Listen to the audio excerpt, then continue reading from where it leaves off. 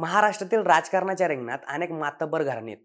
यातलीच दोन घराणे म्हणजे बारामतीचे पवार आणि अकलूजचे मोहिते पाटील. सध्या मोहिते पाटील घराणं भाजपमध्ये गेलं असलं तरी अनेक वर्षे ते काँग्रेस आणि राष्ट्रवादी काँग्रेसमध्ये होते.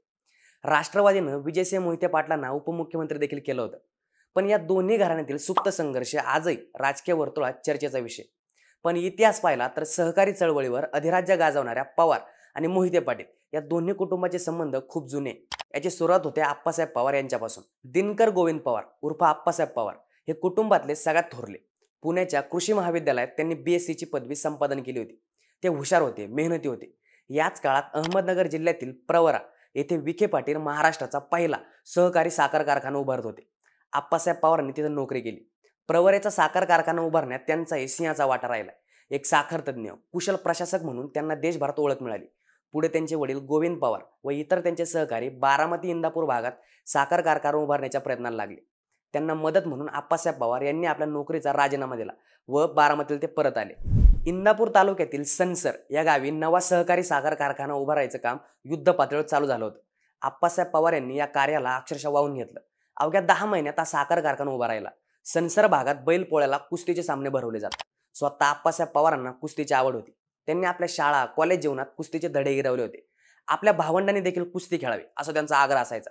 काटेवाडीला असलेल्या घरात त्यांनी तालीम बनवली होती आणि तिथं त्यांचे सर्व भाऊ कुस्तीची तयारी करायचे. एकदा बैलपोळ्याच्या दिवशी सनसर येथे अकलूजचे लोकनेते शंकरराव मोहिते पाटील यांचं आगमन झालं. उंचापुरा बांधा राकट वर्ण पैलवानी शरीर डोक्यावर आईटबाज गांधी टोपी. शंकरराव मोहिते पाटील यांना पाहिलं तरी त्यांचा दरारा जाणवू नये ते म्हणजे एकेकाळी प्रति सरकारच्या स्वातंत्र्य लढ्यात सहभागी झालेले क्रांतिकारक होते. स्वातंत्र्यानंतर त्यांनी शेतकरी कामगार पक्षाची वाट धरली. निवडणुका जिंकल्या.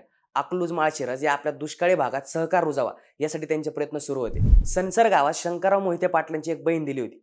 तिच्या घरी त्यांचं येणं जाणं नेहमी असायचं. सोबत त्यांची मुलं देखील असायची. अशाच एका बैलपोळ्याला सनसरमध्ये कुस्तीचं मैदान भरण्यात आलं. शंकररावांना कुस्तीची भारी हौस. लहानपणात व पुढे तारुण्यात अनेक कुस्ती मैदानांमध्ये ते कुस्त्या खेळत होते. पुढे पुढे आपल्या गावातील पैलवानांना घेऊन त्या गावागावच्या कुस्त्यांच्या फडावर जायचे. एकदा बैलपोळ्याच्या सुमारास सनसरला त्यांच्या बहिणीच्या गावीच कुस्त्या होत्या. शंकरराव आपले थोरले चिरंजीव विजयसिंह व इतर मुलांना येऊन सनसरला गेले. विजयसिंह अगदीच लहान होते. ते गोरेपान नाजूक व दिसाला सुंदर गळ्यात सोन्याचा गोप व कमरेला काळा करदोडा. शंकररावांच्या आदेशावरून लहानगे विजयसिंह मोहिते पाटील यात्रेच्या आखाड्यात उतरले. त्यांच्या विरोधात जोड देण्यात आली बारामतीच्या आप्पासाहेब पवारांचे सर्वात धाकटे भाऊ प्रताप पवार यांची. प्रताप पवार यांची कुस्तीची तयारी स्वतः आप्पासाहेबांनी करून घेतली होती. विजयसिंह मोहिते पाटील व प्रतापराव पवारांची कुस्ती लावली गेली. त्यावेळी तयारीने मैदानात उतरलेल्या प्रतापरावांनी विजयसिंह मोहित्यांना लगेच आसमान दाखवलं. शंकरराव मोहिते पाटलांना हा अपमान वाटला. पुढच्या वर्षी त्याच मैदानात पुन्हा कुस्तीचं मैदान भरलं. शंकरराव मोहिते पुन्हा आपल्या पाठ्यांना येऊन सनसरला आले. गेल्या वर्षभरात विजयसिंह मोहिते पाटलांनी प्रचंड मेहनत घेऊन कसून तयारी केली होती. पुन्हा एकदा या छोट्या पैलवानांची कुस्ती लावण्यात आली. विजयसिंह मोहिते पाटलांनी चांगली तयारी केली असल्यामुळे त्यांनी प्रतापराव पवारांना लगेच डाव केला आणि कुस्ती मारली. शंकरराव मोहिते पाटलांचा ऊर अभिमानानं भरून आला. त्यांच्या पोरानं नाव राखलं होतं. पुढे माळेगाव साखर कारखान्याच्या निर्मितीत मोहिते पाटलांनी आप्पासाहेब पवारांची मदत घेतली. तेव्हापासून त्यांचे ऋणानुबंध आणखी दृढ झाले. शंकरराव मोहिते पाटील पुढे महाराष्ट्राच्या कुस्तीगीर परिषदेचे अध्यक्ष झाले. अनेक वर्षे त्यांनी राज्यातल्या कुस्तीची धुरा यशस्वीपणे सांभाळली. तरुणपणी विजयसिंह मोहिते पाटील राजकारणात आले आणि वडिलांचा वारसा पुढे नेला. तर प्रतापराव पवार यांनी बिट्स पिलानी या नामांकित संस्थेतून आपलं इंजिनिअरिंग केलं आणि उद्योग क्षेत्रात पदार्पण केलं. तर ही माहिती तुम्हाला कशी वाटली ते कमेंट करून नक्की सांगा आणि अशाच नवीन माहितीसाठी किस्स्यांसाठी बोल व्हिडिओच्या यूट्यूब चॅनलला सबस्क्राईब करायला विसरू नका.